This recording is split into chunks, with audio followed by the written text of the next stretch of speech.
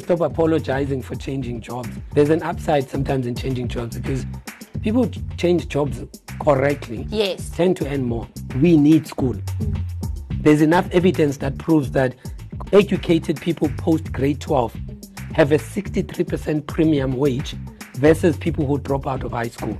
I never dreamt that I'll be a global, Yeah. I'll be a CMO for Google. It's just, it was impossible to be in a shack and be thinking that way. It's just scarcity does that to your brain. Don't hold back. Say it loud.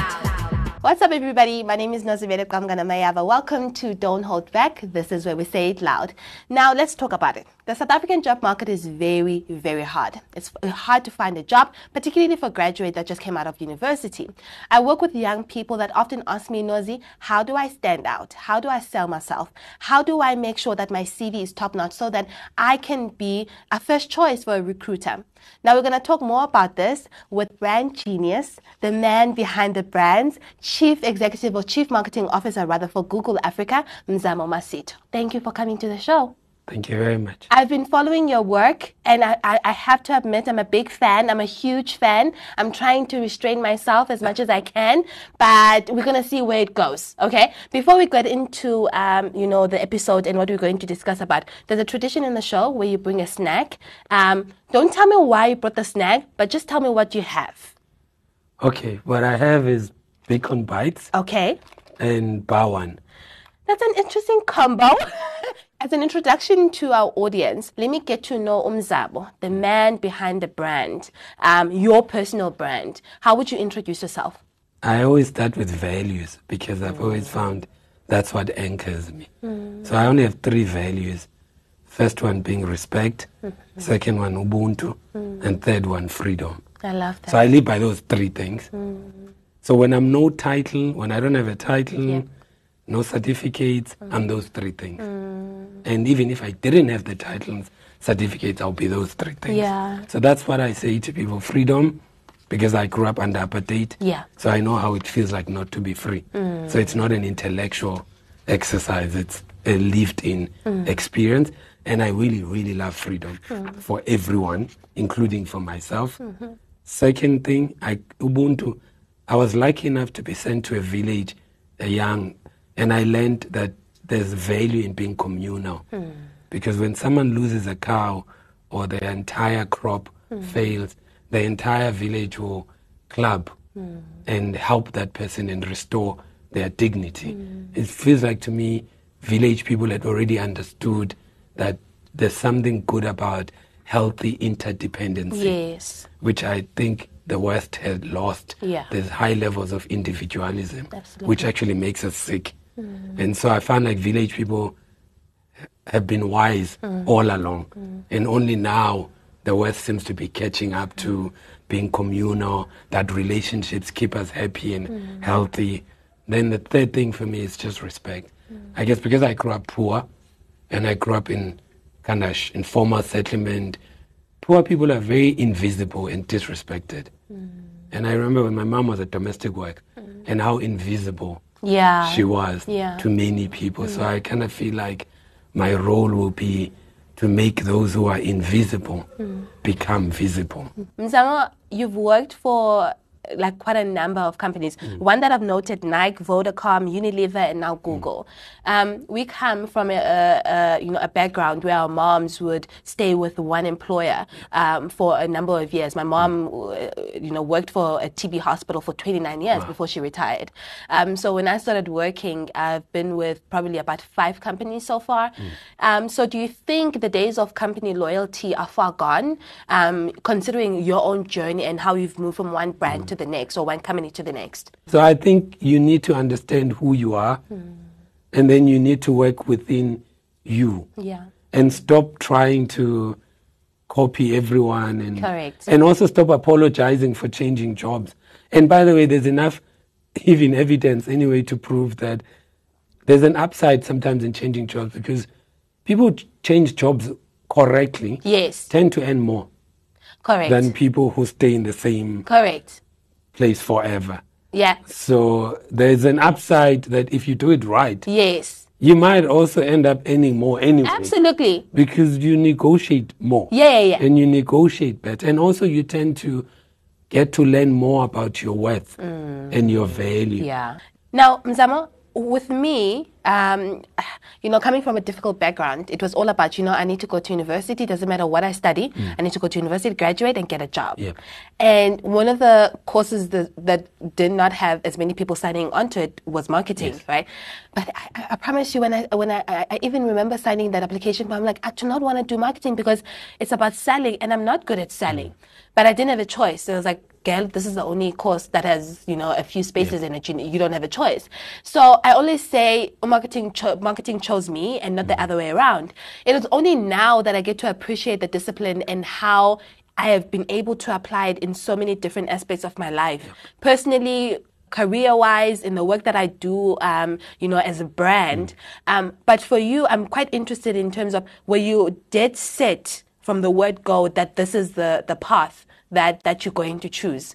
Um, or it just ca- kind of came along um, as you go? No, I I was not. I was one of those people who didn't know what they wanted to be. I was not clear. I knew that, that I remember growing up. All I wanted was to be a preacher, Yes. teacher, and a healer. Those were the three things. There you go. The rest was not in my radar. Yeah. And when I worked at UCT, I was teaching, tutoring. Then I realized when I got like a paycheck as a mm. teacher, I was like, oh shit, teachers don't get paid. Yes. And I'm not a, I'm not a believer in follow your passion. Mm. I'm a believer follow the thing that pays you well. Mm-hmm. The I understand. passion thing. Yeah, yeah. When you're rich, you can find your passion. but I love, can I just say, oh, I'm sorry. I love that honesty Yeah. because a lot of people do that. They get into a certain position. No, and money is not important. No, I need money. no, no, no. I grew up poor. Yes. So I know poverty and I know it's very important to cry in an air conditioned place than in a shack. Because I grew Yes. up in a shack. So I I know it's better to cry in a Mercedes with an aircon in than to cry in a bicycle Yes. or taxi rank. I just thought when I was at UCT, I need to buy my mother a house. Hmm. And there was no way hmm. with that. My passion was teaching. Hmm. It will always be. But it didn't pay. So I then thought, bugger this thing. Mm-hmm. Let me go look for something that pays 10 times more Okay. so that I can take care of my mother, take care of my sisters, buy my mother a house, move my mother out of RDP houses in mm. Khayelitsha. Mm. So I went to do interviews. Unilever called and said, "Hey, I went to a mock-up interview actually." Okay. And the mock-up interview, I apparently I did well, Okay. and mine was to learn how to improve interview skills. Yes. And the interviewer was an HR manager at Unilever, called me and says, Hey, we liked you in those interviews. You're very strong and you've got a statistics and maths background mm. and we're looking for researchers, statisticians. Would you like to come for final interviews? Okay. And I was like, okay, where? She says in Durban. And I was like, oh, shit, I've never been to Durban.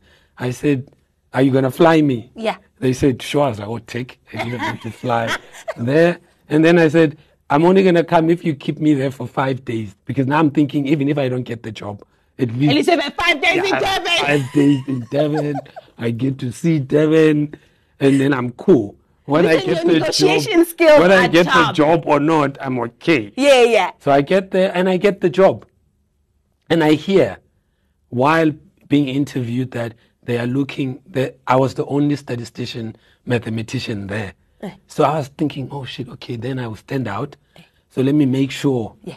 at least and I got the job and I joined Unilever. The truth is I had no passion like I the one thing which luckily for me mm. is that I have always been curious about people, mm. why people do the things they do. So even as a teacher, you are curious about how do you mold a mind, how do you change mm. a person. So I was lucky in that I was in a discipline that was about why people do the things they do. It was a behavioral science, it was statistical science. So I was actually I was not far off from my strength. But it was more by luck than Yeah, by yeah, divine. Yeah, yeah, yeah. And then after that, when I was in research, doing behavioral science, statistical research. I then got into marketing because I was consulting to brand managers, marketing directors, CMO. Then I realized that instead of telling them what to do, I think I can do that job. Okay. So I'm just going to move out of being a researcher or consumer and market insights and move into marketing. So for me, it was never, I'm still to this day a believer that if you grow up poor, I think it's bad advice to say follow your passion. Thank you. I think if you grow up poor, follow the money trail. And then you'll get the passion. Then the passion will come through will after. come through afterwards and just work hard and and and don't forget who you are Guys, we don't have time to play around seeking passion. Our, our families are very poor, like they're in poverty, right? So I get you. I absolutely get you. yeah it's like like sorry like reminded me someone said um, you don't need school Mm. and then i said to them that's an you're an idiot Mm. if you are poor and you come from a marginalized group Yeah. black, person with disability, sexual orientation, a woman, you better stay at school Yeah.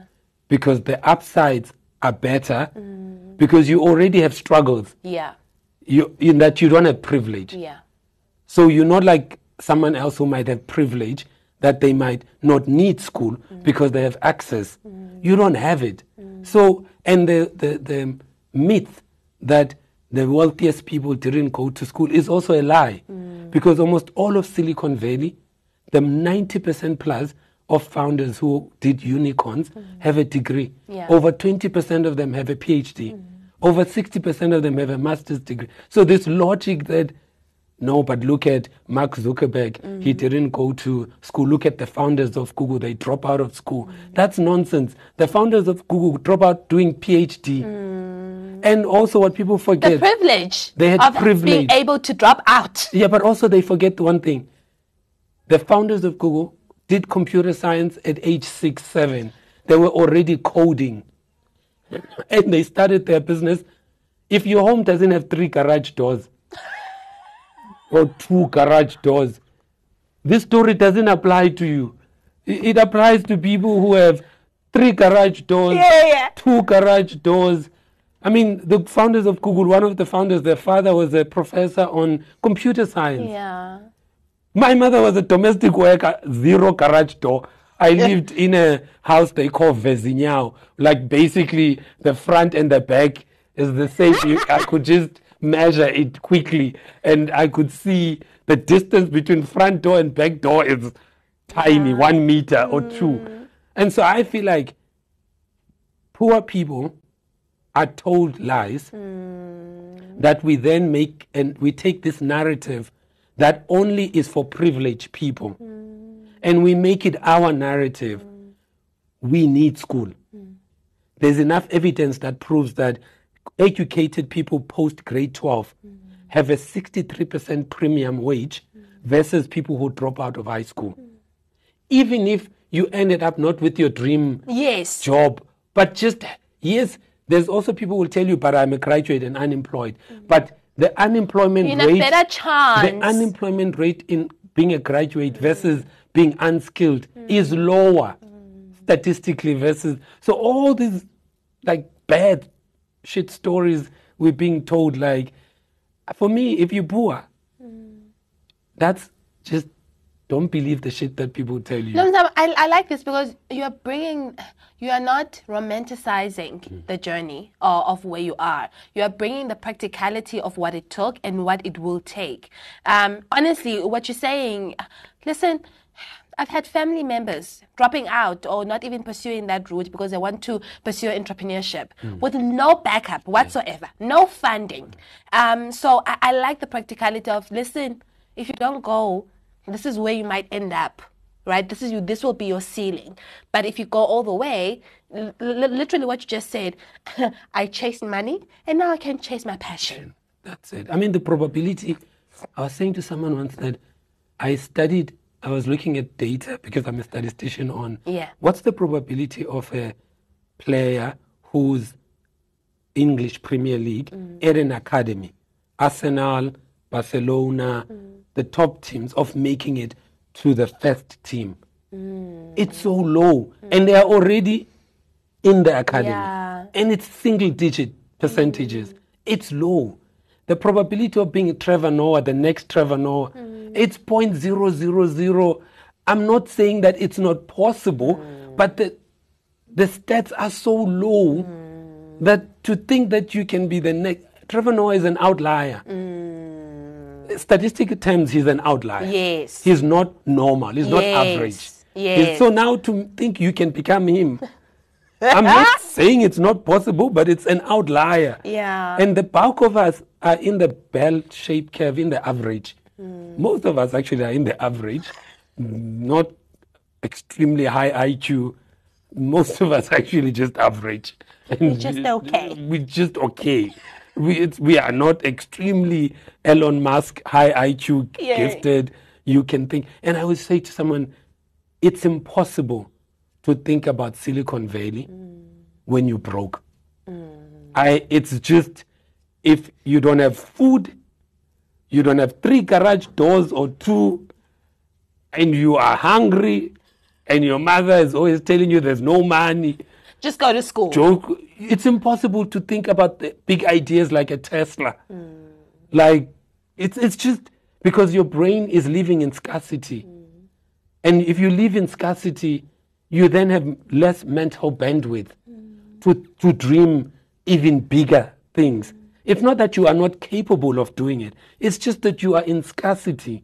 When I was in scarcity, I never dreamt that I'll be a global, Yeah. I'll be a CMO for Google. It's just, it was impossible to be in a shack and be thinking that way. It's just scarcity does that to your brain. Mm. It even lowers your IQ sometimes, scarcity. Mm. So that's why for me, I genuinely think first, don't be broke. Just get out of being broke. It will increase your mental bandwidth tenfold. Then you might start thinking things that you never thought about mm. before. And now you start thinking things like, oh, yeah, I can do that. Mm. Oh, yeah, I can do that. And all of a sudden, even your self esteem, your confidence, and that you know you are enough Yeah. starts kicking in. Like, and when people tell you things about you, they just become opinions, not facts. Zamo, we're going to play a rapid fire question. So I'm going to ask you a couple of questions. Don't think about it. Less than mm. 10 seconds. First thing that comes into your mind. Favorite ad jingle of all time? Bull brand.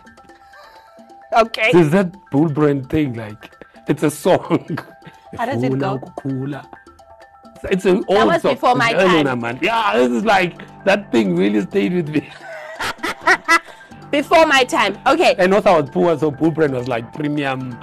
Like if you could eat bull brand, that was like you've made it because meat was expensive. Oh, wait. Is that that, that, that meat on at 13? Yeah, Oh, was yes, yes, can. Okay. You know, Okay. that was like premium stuff for poverty, poor people. So I still remember it uh, like a, a choir and people singing in Xhosa, Zulu, Sesotho. Yeah, yeah, I It's re- just it stayed in my Is head. it still there? I've never seen it on. Okay. Anyway, um, what's your worst um, ever career choice?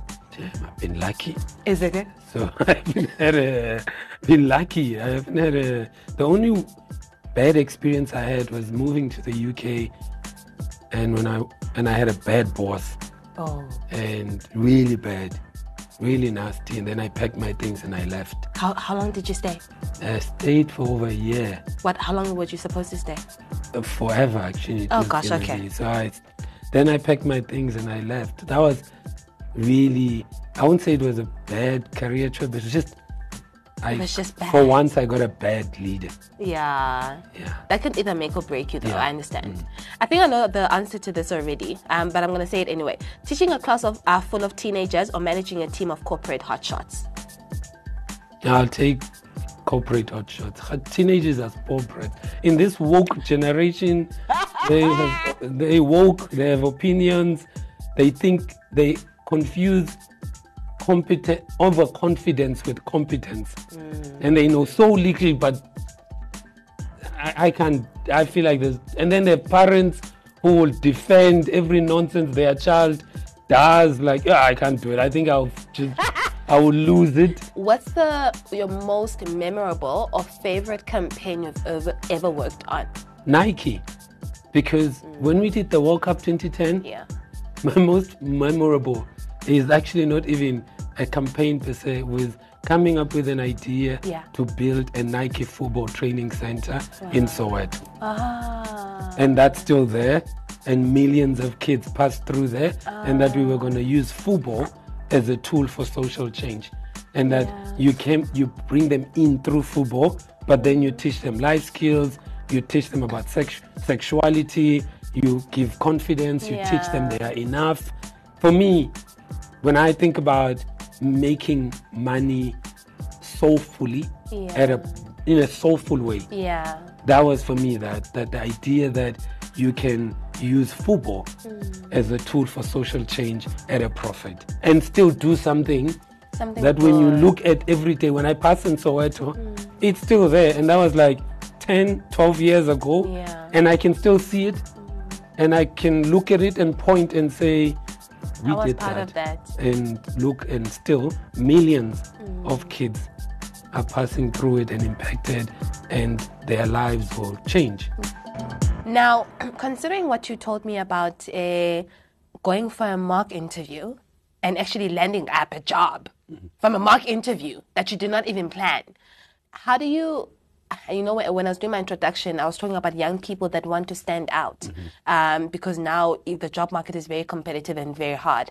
What are some of the pointers that you would give to young people listening to this interview, considering how incredibly well your journey has been? You know, I now know it as I'm closer to 50 that when I was 21, someone told me that I'm full of shit and I'm a, a shit steerer, Okay. instigator. I can see that. I mean, why would they think that? Uh-huh. And then I was like, at first I was didn't like it because I thought it it was an insult. Yeah, yeah, yeah. And then I learned that the more I am me, hmm. I read a quote once it says, Be you and the world will adjust. Yep. There's only you. Hmm. And the more you do all you can to be you hmm. and not try to be anyone else, copy paste, and just be you. Yeah. And the more you are you, mm. you have a far better chance. Mm. For me, that's the first thing. And this, what helped me mm. to gain more self awareness was therapy. Okay. I really believe that if you can and you can afford or you can find a therapist, even when you start a job, Yeah. they offer free Yes. these consultations. Correct. Don't go because you have anxiety attacks or panic attacks or you're clinically depressed. Sometimes go to therapists to learn how do I show up? Mm. How do I score own goals? Because I learned early that earlier on, my first two years at work, I had low self esteem. Okay. I had lots of self doubt. And I externalized blame a lot. Okay. The first thing I did was externalize it to white people. Yeah, they were the first people too easy to blame. they were there. Because when you had a computer Yeah, but also they up- were there in public, so they were the first people I could easily blame. Like, yeah, the white people. Yeah. it's their fault. And then I could blame people who went to private school Okay. because I didn't have the accent, uh, the English fluency. Yes. So I blame them that they talk fast in meetings. They don't give people who went to Bantu education a chance. And then as soon as I went to therapy, I realized that no, the problem is actually me. Yes. And 90% of my issues were me, were not other people, were just actually me. I needed to stand up for myself. The day I learned to speak up in meetings and tell everyone, from now on, I don't need interpreters, translators. John, it's not your job to say what Mzamo is trying to say. Gone are those things now. Mzamo is going to say what Mzamo wants to say. If you don't understand Mzamo, ask Yes. but no more what Mzamo is trying to say. Yes. I'm done. Because we have people here who from come from Holland, Okay. Japan, who can't speak You never- English. you never do but that. we never say what Kees is trying to say. Yeah. Or what Masaki Nagaki is trying to say. We are patient and we're nodding and listening. And now with my broken Bantu education English, everyone's thinking. So that was the thing. The mm. second thing I had to learn was English is not a measure of intelligence. Uh-huh. Just because I was not fluent in English, uh-huh. it didn't mean I was not smart. Yeah. And there are many things in this world that have been invented mm. without English. Mm. People who wrote Nobel Prize winners Yeah. who wrote in German, in mm-hmm. Russian, but they didn't speak English. So I had to get that out of my and decolonize my own mind. Mm. And then the other thing was just read. For me, Steve Biko is the best friend I've ever had. Mm. He helped decolonize my mind. Mm. Frantz Fanon helped decolonize my mind because I had a lot of inferiority Okay. complexes as a black, poor, but I really genuinely thought I was inferior. And that was internalized by me.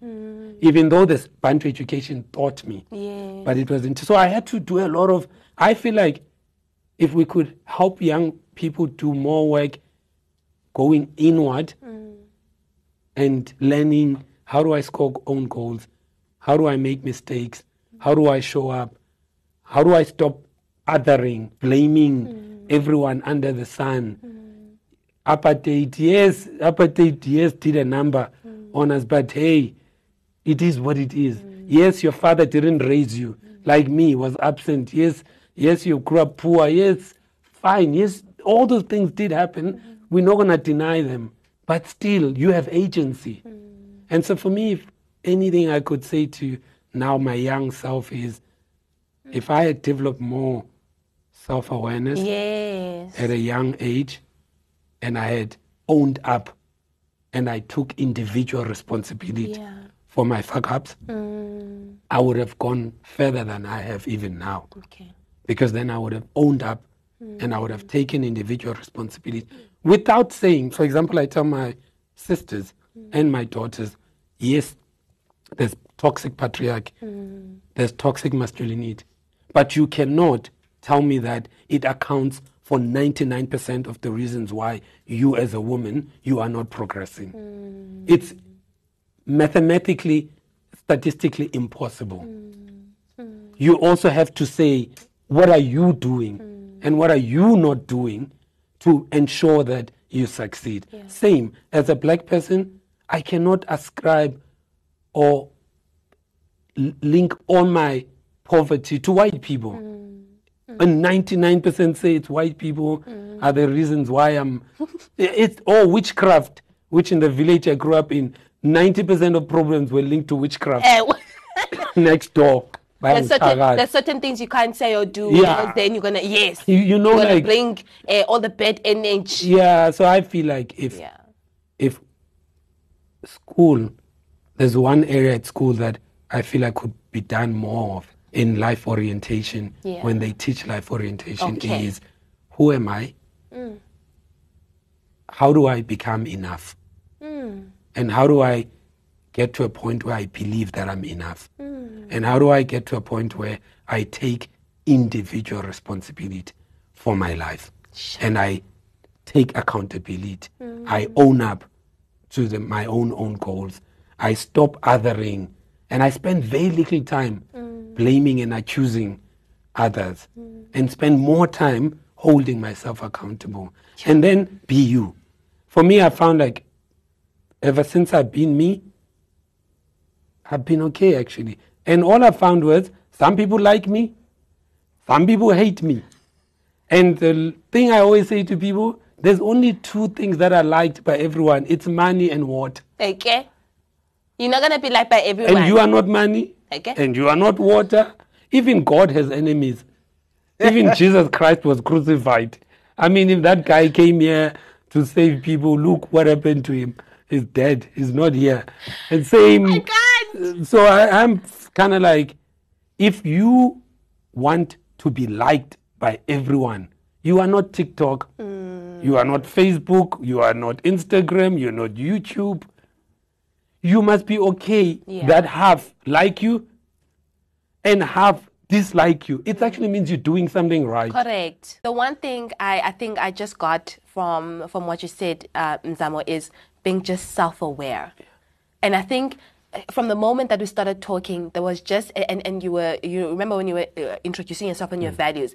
I felt like there was such a sense of peace with who you are that I think a lot of people like honestly want that from them, for themselves and i think that's what i'm getting out of it to you, for, for someone to be able to attain that you have to go through the steps of what have what can I do? Um, what responsibility can I take? Yep. And and that self awareness, um, I think that's just profound, and and that's personal to me also, and and what I take from from this podcast. Um, so just before we we end off, let's go back to the snacks. Can I can I can I guess why this is the first time? Is it a really nice um, hangover cure? No, mine is is poverty deprivation. It's nothing to do with. Oh, so the minute you had money, this is what you like. You, Yeah, because you know, like when you go to school and then you had like cheese boys. Um, okay. those kids who had like lunches with cheese and Yes, yes. Marmite. Was it Marmite or those? Yes. Like I Yes. didn't have that shit, so I had to walk home every day. had to run home, Yeah. eat, run back. To this day, my worst thing is I eat fast mm. because I didn't grow up with a table. Yeah. So I had to eat fast, run. And so snacks, like you see a kid with like snacks and you, you look at it, you're like, wow, do people have that thing? Like it's just a snack. And also, also, even if you did have something, usually you'll have like a steamed bread. Yeah. right? You're not gonna bring steamed bread. No, I mean, it's not You, cool. you might like- as well run back and have a slice of steamed bread and then go back to school. Yeah, I mean, what are the chances of even being liked by a lady in high school where you're bringing vetkoek? uh, and like, let's share. Whereas if you had a power or, or something, it increased your chances. Know, Yes, it was like, so for me, it was more like I link these things to deprivation. Mm. And I remember the time when I didn't have. Like for me, birthdays were things I didn't celebrate. Yeah. Mm. Because I was born on the 4th of February and people are broke. Yes. On the 4th of February, You there's still no money. from the December there's, holiday. There's nothing. So I learned to not ask. Mm. I learned to not expect. To this day, I struggle to celebrate birthdays because it's just something I blocked because I didn't want to bother my mother Mm. Yeah. and bother people. Same with when I see Bar-One or I always think like, wow, I remember not having. Mm. And now I can just buy the whole box if I want to. I serious. The first thing I did when I started working, I bought KFC. You know, like KFC The 28 packet, packet, the 21 piece, 21 yes. I, I bought that thing all by myself. no, I went home no. in my room flat. Yeah. Bought the bucket. Like seriously. like Alone? alone because for me KFC ne, was Mm. you only ate like it was Christmas Yes. or there has to be like a special occasion where like you dress up to go to town. Yes. Like it was not a thing you just you ate just because you're craving for KFC. So I thought when I started working, that's it. I am gonna kill this craving. Buy this bucket of 21 piece. 21 piece Yes. sit there at home all by myself and I'm not gonna share. No sharing. Please tell me you ate it over a couple of days. I chow that thing like I was so happy. and then I got sick. I was like, course you're gonna get sick. I got so sick. I was like, course you're gonna get I was nar and just sick bad. You were happy. I was so happy. and what it did, it ended. You never people underestimate the um, poverty, pent up desire Yes. that you grow up with, the cravings, the the constraint. And Yes. So for me, that was the thing. Same with Bar-One. And Bar-One, there was a time when it was bigger than this. Like, So this is yeah, I feel like they, yeah, there was a time it was bigger, and I just felt like same, like beacon bites, and so for me, it's just, I whenever I have a beacon bite or I have a Bar-One, I don't eat like to show that I've seriously transcended. Eh. I don't eat meat, okay. and that's a privilege of Yeah, yeah. because you can't be poor and be choosy. Yeah, yeah. And be like, no, I don't eat meat. I don't eat chicken. I don't eat red meat. I don't eat pork. I know I didn't have those blessings when I was growing up. Yeah. Now, I, I You can choose. I'm I don't eat those things purely not because now I can't afford them. Yes. But because I just The choose. preference. So now I have freedom, mm. which I didn't have before. Yeah. Same now when I see a Bar-One, Beacon Bite, now it just reminds me how free I am. Mm. It's just freedom. These are the things that we take for granted. Yeah. Honestly. Yeah, because anyone else that will buy this, we just buy it for, I mean, we can afford it. But now that you're just telling the story, it makes you just think about how far someone has traveled Yeah. and for us to be here. Yeah, no, it's a long, it's been a long, right? But also now, when I look at Bar-One, I always think in, in Islam, when I used to go to the mosque and they talk about Allah is merciful mm. and full of grace. Mm. And I look at my life and I'm like, damn, mm. actually Allah and my ancestors have been merciful and full of grace because the odds of me having been here are actually low. Because most of my friends are in Pollsmoor prison. They are drug addicts or alcoholics or mm. dead. Everyone I grew up with, 80% didn't make it. So it's mm. kind of when you now look back, you realize, like, oh my goodness, you must have more gratitude. Yeah. And you must say thank you a lot because it could have been Could have been worse. worse. And I had cases growing up where I could have easily mm. have landed in jail. And like people, I always say to them, my father, stepfather, blessed his soul. When he found out we were dealing in drugs, Yeah. because this other guy got stabbed or got shot by drug dealers and he tossed a bag and I picked it up and when we opened it it had drugs and we thought oh we're going to start our own empire Okay. Mm, because that's like look normal Yeah. where I grew up my father heard about this my stepfather and instead of shouting and punishing me he took me to scouts hmm. so I joined Boy Scouts hmm. because my stepfather find out that we were now studying this This empire. drug empire business, and he saved my life. Hmm. So it's moments like those which I was not in Could have been a split of a second. A second, Yeah. So I joined Scouts, and then I'm in Scouts all my life till second year varsity. Hmm. And all I learned in Scouts is, oh, there's badges. Hmm. And I'm like, I'm going to have all of them. And I want my arm to be full of badges. That's when I also knew that, oh, I like achievement. Yes. I like trophies. I like badges. So I like certificates. I like. So then all I did was all my weekends, I'm not at home. When I come back, my friends are either arrested or in jail or stabbed. So scouts, through my stepfather, saved me. So that's another thing I'll always say with young people don't be idle. Find something to do. Keep yourself Busy. busy. Because if you have a high IQ, like I do, Okay. their brain will find something to do. Yeah. And it doesn't discriminate whether it's good or evil. It just wants Just something. to be used. And whereas if you are idle, you are in deep shit. Like if, if you are poor and idle, Hmm. I even think it applies to privileged people because I see now Yeah. my kids, they are privileged. And as soon as they're idle, I can see now why they need more therapy, why they need more therapy, why I need to pay more for therapists. Because now they have existential problems yeah. the meaning of life.